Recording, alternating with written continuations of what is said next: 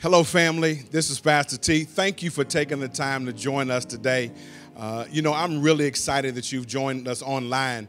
Would you do me a huge favor? If this programming adds value to your life, if you're excited about what you're going to hear, would you press the like and the share button prophetically, knowing that today you're going to hear a word? Today, uh, worship is going to take place and you're going to experience transformation.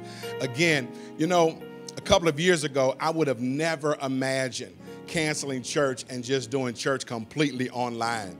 But times have changed and we've got to learn how to pivot. So thank you for joining us online. And right now, we're going to begin our worship in the way we normally do, and that is with a period of intercession where we center ourselves and we settle ourselves and we connect with God. So take the moment to get in a position so you can intercede, so you can hear God clearly this day. Good afternoon, G2. Good afternoon. We're so glad you're able to join us virtually. I'll be reading Psalms 100. Shout for the joy, shout for joy to the Lord, all the earth. Worship the Lord with gladness. Come before him with joyful songs. Know that the Lord is God. It is he who has made us, and we are his. We are his people and the sheep of his pasture. Enter his gates with thanksgiving and his courts with praise. Give thanks unto him and praise his name. For the Lord is good and his love endures forever. His faithfulness continues through all generations.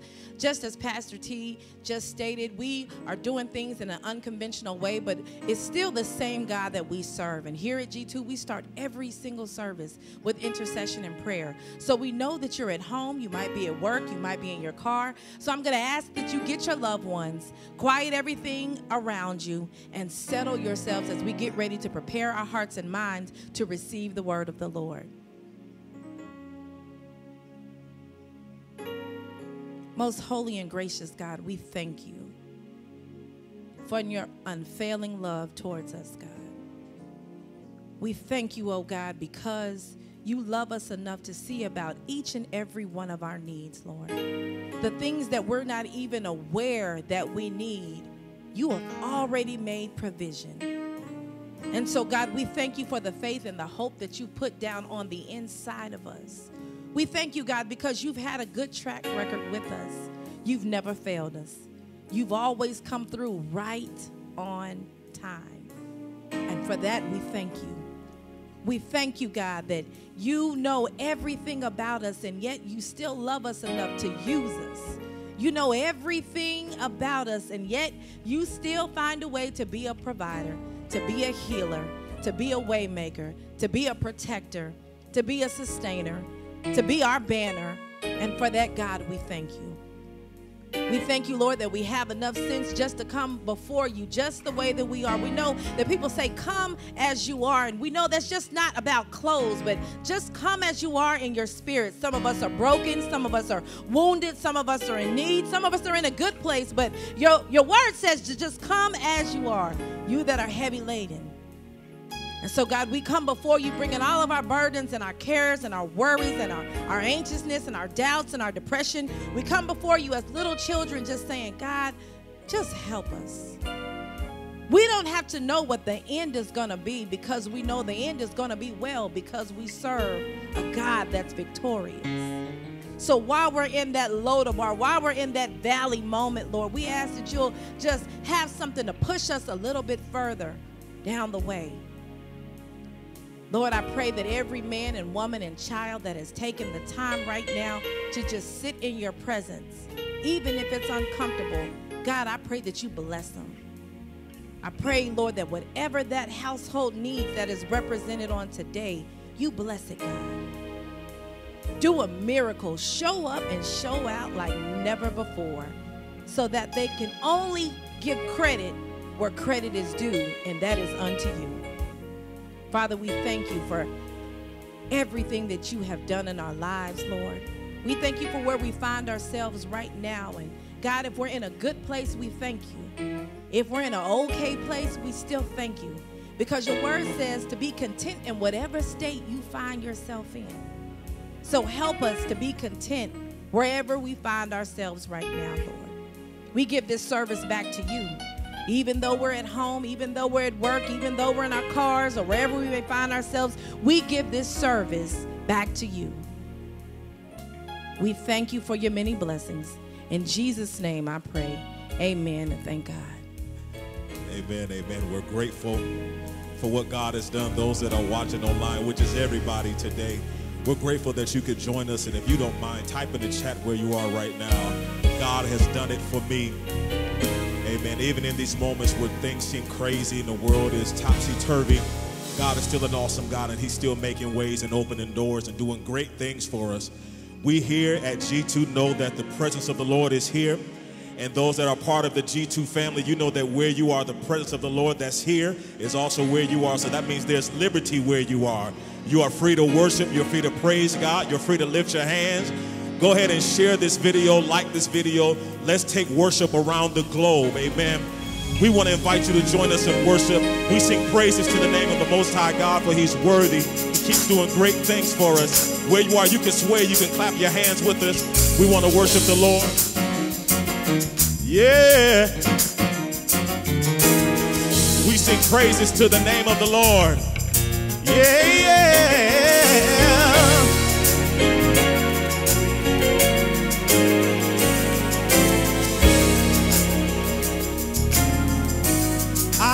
Praises to your name. Oh Lord, praises to your name. Oh Lord, for your name is great and greatly to be praised.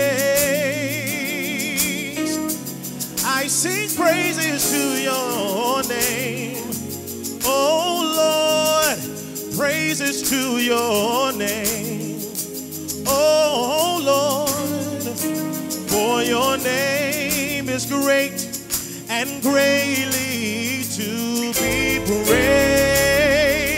Everybody, let's sing. I, I sing praises to your name. Oh Lord, we give you praise. Oh Lord,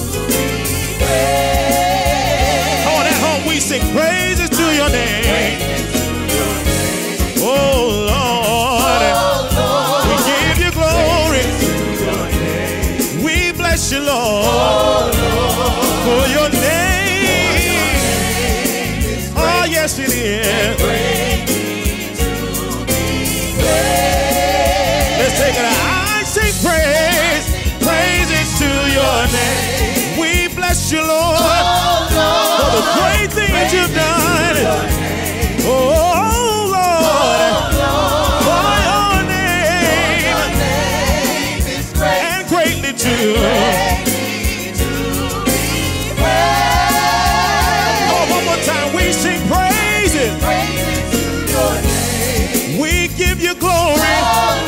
You deserve our praise. Oh, Lord, for your name and greatly too.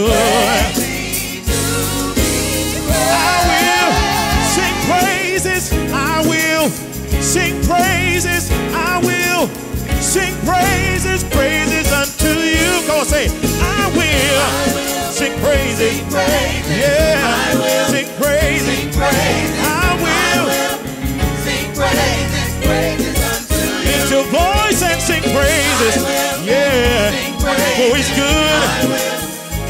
He is kind. Yes, I will. Oh, I will sing praises. I'll bless you. Yes, I will. I will sing praises.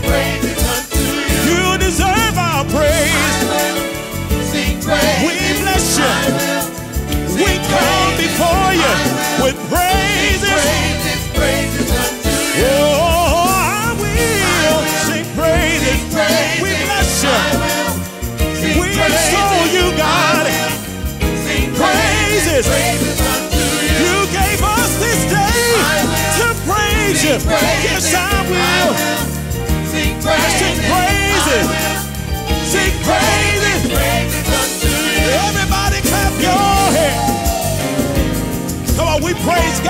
God for his greatness toward us. We lift up our voices and sing praises, praises unto you. Say, yeah, yeah, yeah. Yeah, yeah, yeah. Come on, where you are, lift your voice and sing praises.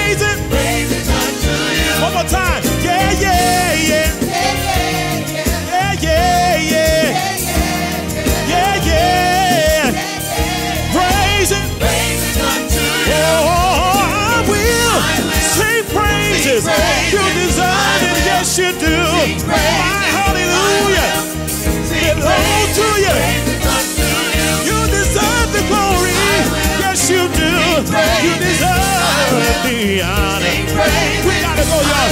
Hey, praises, praises unto you. Come on and let's bless him.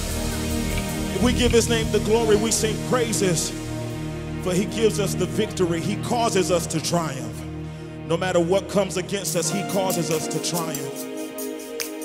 If you don't mind, just where you are, just begin to declare victory in your situation, in your home, in your body, in your finances, wherever you need the victory. God has given us that because it belongs to him. Oh, yeah.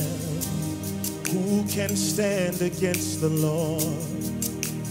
No one can. No one will. And who will stand against our King? No one can. No one will. Oh, oh, victory belongs to Jesus. The victory belongs to Him. Oh, oh, oh, the victory belongs to Jesus. The victory belongs to Him. Let's say, who can stand? Who can stand against the Lord? No one. No one can. No one. No one will. Who will stand against our King? Who will stand against the King? No one can. No one can. No one will. No one will. Oh. Come on, say it where you are. Oh. Declare it in yourself. Victory belongs to Jesus. It belongs. Victory belongs to him. That means nobody can take it away from him. Oh,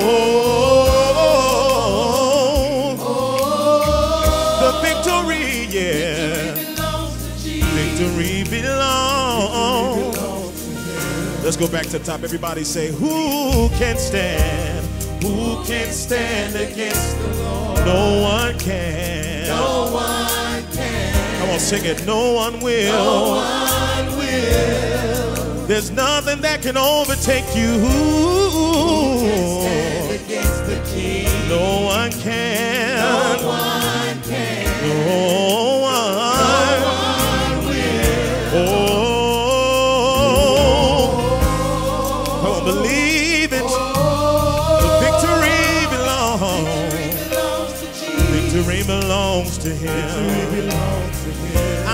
confident and I believe it. Oh, victory, yeah. The victory belongs to Him. Let's say it in harmony. Oh, oh,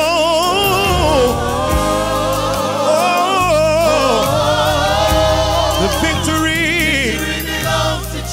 Come on, say it with conviction.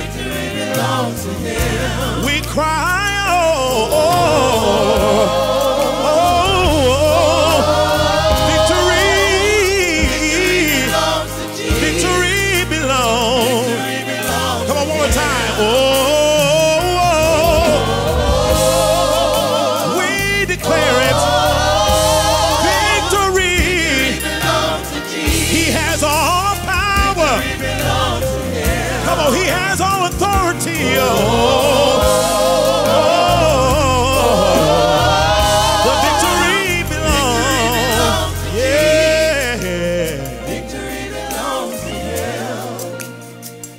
So we put our trust in you. We put our hope in you. Let's say you will, you will deliver. You're a provider. I find my victory in you. You're forever victorious. Come on, type in the chat. Forever we win. I find my victory. Come one more time. You will deliver. The Lord's a provider. Come on, I find my victory. I find it in you because you're forever victorious. We won't lose with God on our side. I find my victory. Come on, let's say you will deliver. You're a provider. I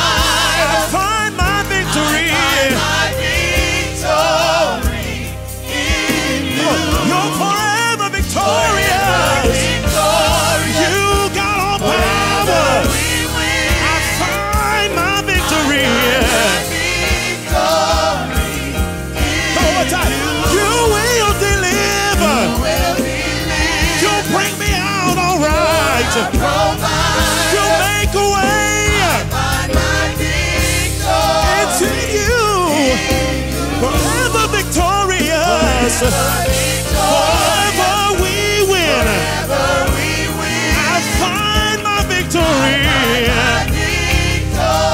Hey, because the victory belongs. Victory belongs to Jesus. Yes, it does. Victory belongs to it. Victory belongs to Jesus. Oh, receive it. Victory belongs to him. No matter what's going on, Victory belongs to Jesus. I have the power Victory belongs to to tread upon serpents and scorpions, Victory belongs to to fight the power Victory belongs. of all the enemy. Victory belongs to I've got the victory. Victory belongs to Jesus. Today it's mine. Victory told Satan, you gotta get thee behind. Victory belongs to Jesus. Victory belongs to him. Victory belongs to The victory belongs to him.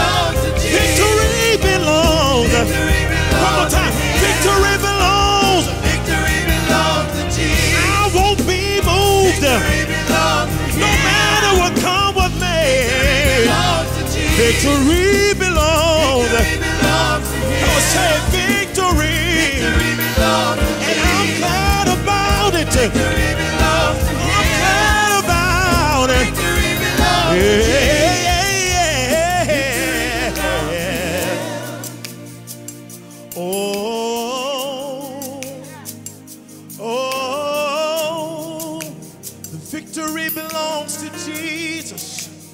Victory belongs to Him. Oh,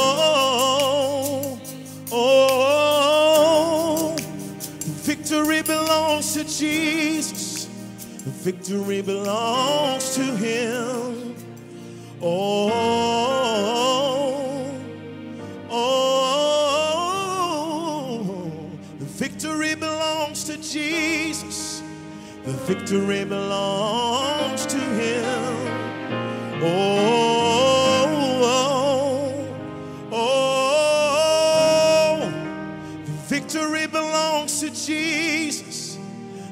victory belongs to Him. Now let's praise Him because He's given us the victory. We bless you for the victory, oh God. We bless you. We bless you. We bless you. Bless you for the victory.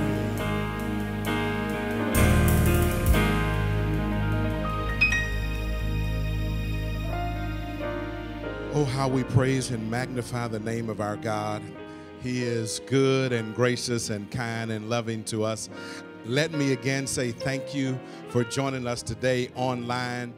Uh, again, I could not have imagined two and a half years ago uh, ever just canceling worship and just saying everything would be completely online. But these are different times in which we live. And so I am thankful you taking the time to join us today.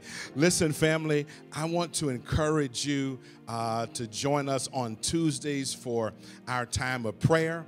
Amen. At Tuesday mornings at 7 a.m. for our time of prayer. So make sure you set your alarm, you lock it in, and you join us for a time of intercession on a Tuesday morning. You know, the saying is Mondays can be rough. And so join us on Tuesdays. We can help you get through the remainder of your week. There's going to be a few more things that are going to be shared today uh, concerning some upcoming events. Uh, but don't forget, next Sunday, next Sunday is Family and Friends Day. So we want to encourage you to invite your family, your friends, your neighbors. You know, I'm kind of old school, and uh, in old school, we had a thing called frangelism. Uh, where you invited your friends, uh, your relatives, your associates, and your neighbors. And so we want to encourage you to in- invite all of them to join us on the fifth Sunday at 2 p.m. as we worship our God together and celebrate his goodness towards us. Amen. Amen. So we give God glory and praise today. Again, I'm thankful that you've taken the time to join us. If you have not, I just ask that you do me just one huge favor, and that is would you take the time to hit that like, uh, that share button, uh, no matter where you're watching on Facebook or on YouTube? It helps us to come up in other person's feed. And so if you're being uh, blessed by our time together, if you find value in our time together, would you make sure that you share that with someone else? Amen. Listen, would you join me in a word of prayer as, I, as we consecrate our time together? Lord, we love you and we honor you today and we thank you for just who you are to us. You are so good. Whether we are in, in person or online, you are good and we bless you. So, God, we ask now that you'll bless these few moments together in your word. We want you to get the glory out of our time together. We want you to be lifted and magnified and praised and adored. In Jesus' name, amen. I cannot move forward without at first thanking those who've made this possible, our time to come together, our worship team and, and our AV team and musicians and others who've assisted in helping us pull all this together. So, you know, I want to begin with uh, taking you back uh, just a little bit. You know, when I was uh, when I was growing up, uh, my father um, he loved to watch uh, westerns, and so I want to begin in that era. Um, so there's a story of this uh, of this cowboy who was sleeping out one night in the old west, and uh, he noticed something moving at the end of his bunk. So he grabbed his six shooter and he shot quickly. And to his dismay, he shot a hole in his foot. How many times have you and I shot a hole in our foot because we've moved too quickly? We made rash decisions that we later on regretted. There's a story that I think uh, illustrates that, and I think it can help us uh, because I think it offers us some insightful information on how to process making the right decision. So, join me, if you will, in the book of Ruth, chapter 1. The book of Ruth, chapter 1, there in the Old Testament, the book of Ruth, chapter 1. Now, as you're turning to that in your Bible or you're locating it on your device, while we're going through this message. If it is a blessing to you, if you agree with it, I want you to talk back to me online like you would if you were in the sanctuary. Hit those likes, those loves, uh, drop a little fire in the chat. Ruth chapter 1 the book of Ruth, chapter number one, and beginning with verse one. And here's how it reads Now it came about in the days when the judges governed that there was a famine in the land. And a certain man of Bethlehem in Judah went to sojourn in the land of Moab with his wife and two sons. The name of this man was Elimelech, the name of his wife Naomi, and the names of their uh, sons were Mahlon and Chilion, Ephrathites of Bethlehem in Judah. Now they entered the land of Moab and remained there. Then Elimelech, Naomi's husband, died, and she was left with her two sons. They took for themselves Moabite women as wives. The name of one was Orpah, the, the name of the other was Ruth, and they lived there about 10 years. Then both Mahlon and Chilion also died. And the woman was bereft of her two children and her husband. Amen. You may be seated. God bless you uh, today again. So let me set the context for this, uh, this passage. We learn in the very opening words of verse 1 that it takes place during the time of the judges. And that's interesting because uh, the period of Judges um, was described in this fashion. Judges 17, verse 6 says, It was a time when everyone did what was right in their own eyes. It was a day of radical individualism. You know, that day has dawned again. because we're living in a day of radical individualism where, where people are simply doing whatever feels good and whatever feels right. There is no sense of community anywhere. There's no sense of obligation to the larger group. It is all about what I want to do and how I want to do it. That we have entered into an era of radical uh, individualism where it could be said, even of this age, and every man does what is right in their own eyes. That is, the, that is the times in which this text takes place. Now, most of the time, as we come to the book of Ruth, we spend our time focusing uh, upon uh, uh, Ruth and, and Naomi and their relationship. But before we even get to the beauty of that relationship and, the, and, and, and, and, and, the, and the greatness of Ruth, we've got to look at the story of Elimelech because it is his actions that eventually gives us the story of Ruth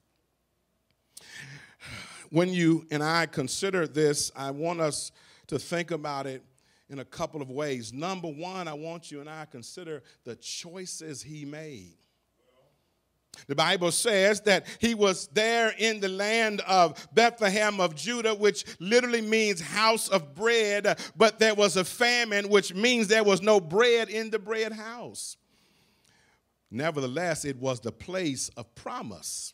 It was a place God promised to bless his people. And so when you read of, of Elimelech's story, the thing that you'll have to consider first is that in the choices that he made, he learned and he lived and walked by sight and not by faith. He allowed what was taking place around him to make a decision to move his family to an entire different area. Moab was a cursed city, it was a cursed place, but he chose to move his family there because he was walking by sight and not by faith. And how often do you and I make choices and decisions because things don't look right? Can I tell you, you and I as believers can never afford to make such decisions because our job is to walk by faith that even if it doesn't look right, you and I have got to learn how to trust God. Those of you who are listening to me online, can you type into the chat, I'm learning how to trust God? It's a process, it is not easy. You have to learn how to trust God, and you have to learn how to walk by faith and not by sight.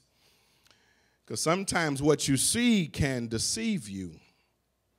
So not only does he make the choice to walk by sight and not by faith, but he also betrayed the name that he carried. What do I mean by that? Well, his name, literally, Elimelech means God is king. But he does not live as if God is king.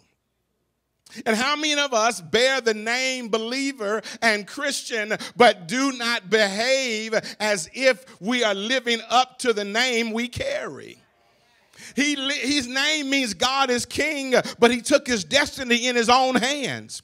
His name means God is king, but he decided that God wasn't moving fast enough and things weren't going according to his plan. So he uproots his family and moves them to Moab. How many of us betray our name? We call ourselves Christians and believers, and oftentimes the way we act betrays the name we carry. So he walked by sight and not by faith. He, he did not, uh, he betrayed the name he carried. But thirdly, he abandoned the place of promise. You see, Bethlehem of Judah was the place and the land where God had promised to bless his people, and he chose to uproot his family and move them to Moab. Now, it was only 50 miles from Moab from Bethlehem of Judah to Moab. It was only 50 miles, physically 50 miles, but it was a million miles away and outside of God's will. And what may seem like a short distance can take you so far out of the will of God. We read the story oftentimes in Luke 15 of the prodigal son, and the Bible says he went into a far country. And there he wasted the substance with riotous living. 50 miles can be a far country. That if there's any place that takes you outside of the will of God, it is too far. And though it was only 50 miles, it was a million miles away from God's place of promise. And so his choices, his choices had consequences. And so do all of ours. Our choices all have consequences. So take a look at the consequences, and here's where it gets scary.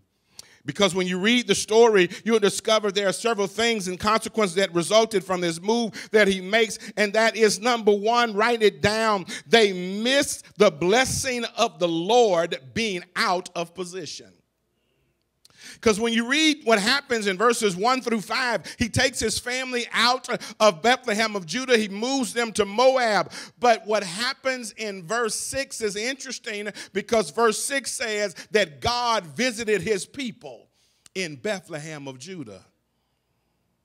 He moved to Moab, but God blessed his people in Bethlehem of Judah, which means he had moved his family out of the place of blessing. How many times do you and I make rash decisions, quick decisions, because of our fear, because we are afraid, because we are uncertain, because we are unsure, and because we have chosen to live by sight and not by faith? Because when you walk by faith, you know that even if it is a famine, it is better to be in a famine with God than out of a famine without God. But here's another thing I think you should, you should know. They ran into what they were trying to run from. Because when you read the story, something interesting happens. It is, it is tragic when you read the story. But the Bible says that they moved to Moab, and not long after moving to Moab, Elimelech dies. He leaves his wife and his two sons. And then the Bible says, and sooner or later, uh, they take the two sons take wives, and then eventually they die. Mahlon and Chilion. Now, what is interesting is Mahlon's name means sickly, and and Chilion's name means puny. So he made Elimelech made a trip with his two sons who were weak and sickly and puny. They didn't have the capacity to withstand the trials and the burdens of a travel and a trip. And so not only does he die, but they end up losing their life and they do it all in Moab.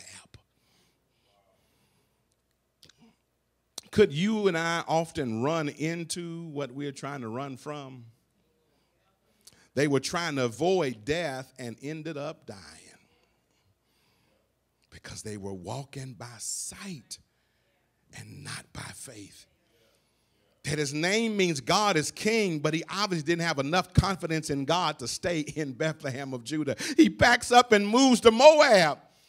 And while he's in Moab, he loses his life. His sons lose their life. They suffer tragically. And so now his wife is left, and they got the two daughter in laws, Orpah and Ruth. So you consider the choices that he makes, you consider the consequences. But for us today, I want you to really think about what are the critical lessons for you and I. What are the things that you and I should take from the choices of, of, of Elimelech and the, and, and the decision that he makes? Because the Bible declares that all of the things that have been written down in the book have been written for our, for our edification. That in other words, we ought to learn from the mistakes that they made. So what do we learn? Number one, we learn don't panic. Don't be like the cowboy in the Old West who noticed something moving at the end of his bunk and shoots, and he shoots his foot. Child of God, don't shoot your foot because you're panicking. You got to know that no matter what life brings to you, you got a God who loves you, who cares about you, and who's watching over you, who is superintending the affairs of your life. If you do this and type into the chat, don't panic. Don't panic. Don't you lose it. Don't you lose your cool. Don't you lose your don't you don't don't you lose your your faith. Stay still. Listen, don't panic. I know things are looking rough right now. I, I know things are looking tough in the economy. I know the government is going crazy. I know stuff the world is going crazy. Shootings on every hand. You don't know whether to go to the mall or not. You don't know whether to go to the theater or not. You don't know if going to the grocery store is going to be your last trip. Things have gotten crazy, but whatever you do, don't you panic. Why? Because, like Elimelech, God is king. He is king.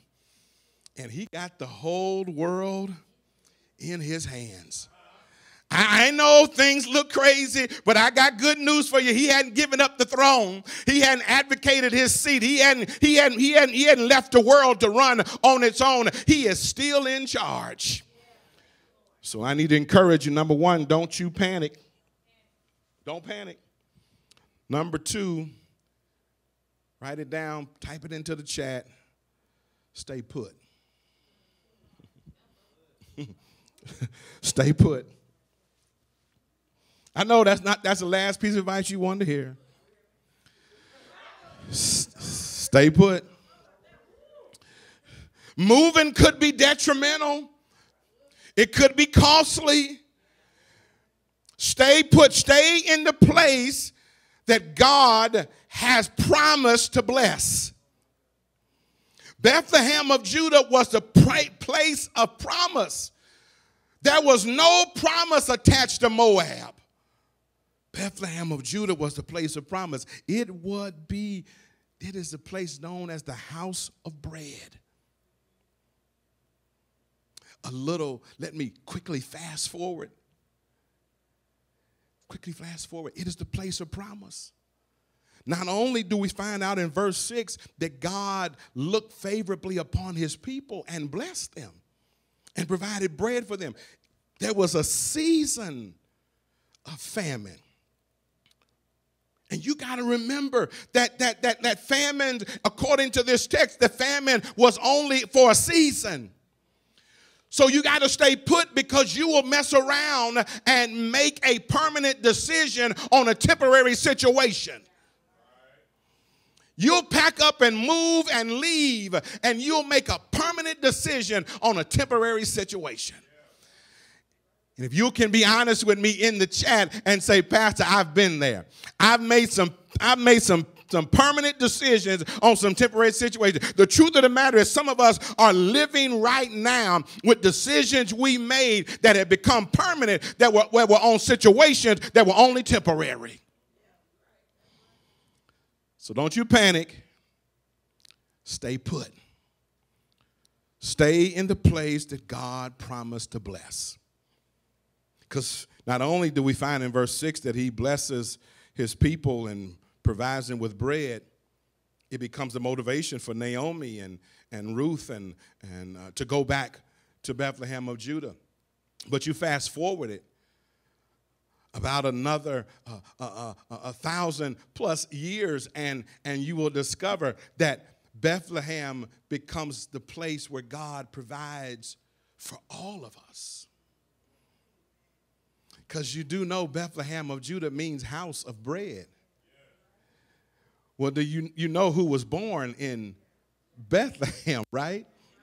The bread of life. And so it is a place of provision. So don't you move from the place that God has promised to bless because whatever is going on now is only temporary. If you can type that in the chat, it's only temporary. It's a it's a season. It will not last always. So don't panic. Stay put. And here's the last thing. Just trust God.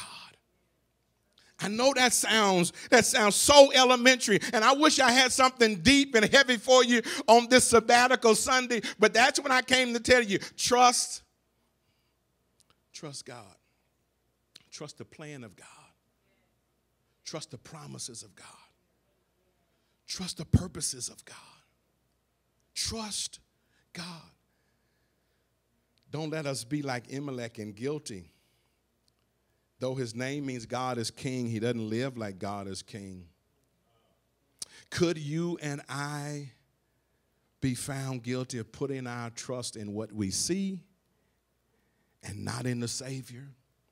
Can you and I be guilty of putting our trust and confidence in the things around us and moving too quickly and shooting ourselves in the foot because we haven't simply learned just to trust God? Trust Him and do not doubt. Because God will surely work things out. When you and I learn to trust him, he will he will prove himself. And I know I'm talking to some people who are watching me online who know that when you lean in on God, when you rest on God, when you put all your weight on God, that's what it means to trust. It means to put all of your cares. The Bible says, cast all of your cares upon Him. Why? Because He cares for you. You and I got to learn to trust him. What reason do we have not to trust him? Every time we turn around, he keeps on coming through. Every time we think about it, he shows up on time. There has not been one moment in your life where God has abandoned you and walked away from you. There have been some painful moments, there have been some difficult moments, there have been some hard moments, but the truth of the matter is, there has never been a moment that God has abandoned you or failed you. He is a God who cannot fail. And so you and I have to learn how to simply put our trust in Him. Trust in Him with all of your heart and lean not to your own understanding. In all of your ways, acknowledge Him, and He will direct your paths. Elimelech's life is a lesson. He learned the hard way. In many ways, he burned his hand on the stove so we don't have to. So, my encouragement to you on this day, on this sabbatical, don't panic. Stay put. Trust God. Don't panic. Stay put. Trust God. Don't panic. Stay put. Trust God. Let's pray. God, we love you today. And we thank you. Help us not to panic. Don't let us be like the cowboy who ends up shooting ourselves in, in, our, in the foot because we reacted too quickly. We made a rash decision. And now we're regretting the decision we made. Help us to not make a permanent decision on a temporary situation. Famines are seasonal, heartbreak, seasonal, disappointments, seasonal. So help us not to panic. Help us to stay put. Help us to stay in the place of blessing. For each of us, you have designed the place of blessing where you will provide for us, where you will care for us. And that place is right in the middle of your wheel. There is no safer place to be than in the middle of your wheel. If, if it's 50 miles outside of your wheel, that's a dangerous place. So help us to stay right in the middle of your wheel. We don't want to exchange a famine for three funerals. He left a place of famine, but he didn't make it back. His sons didn't make it back. And the choices we make not only impact us, they impact our generations to come. And they may not survive the move. So help us to stay put and help us to trust you and never doubt that your plan is perfect. In Jesus' name, amen. Bless you, family. Thank you for taking the time to, to join uh, us today online. I am super excited um, that you've taken this time. And I want you to join us next week for Family and Friends Day. I'm super, I'm super hyped. Uh, we've got special guests that are going to be here, and I want you to be present uh, as we celebrate the goodness of our God. There's going to be a few things that are come across the screen to remind you. Don't forget to join us for our prayer time, um, and then don't forget for next Sunday. Now, finally, but certainly not lastly, and that is giving it is an opportunity now for you to sow into the church and into the ministry. You know, lately there's been a whole lot of talk about giving and tithing. Social media has been a buzz about it because of certain comments that were made. But you know, this idea of tithing really doesn't begin under the law, it began before the law. When you read your Bible, you'll discover the story of Abraham and Melchizedek. Melchizedek was a high priest, and Abraham has success in a battle. God gives him victory, and he, the Bible says, and he pays tithes to Melchizedek before the law. So, what does that mean? It means tithing is literally an expression of my gratefulness and my trust in God. And it says, God, I thank you for the victory. And by giving you the, the 10th, I'm thanking you not only for the victory, but I'm believing you for the future. So, would you take a moment? And there's five ways you can give. Would you take a moment and sow into the church and to the ministry? I'm believing God is going to bless your life abundantly above all you can ask or think. So, thank you so much for your gifts, for your contributions. I love you. Be blessed. Have a great Sunday.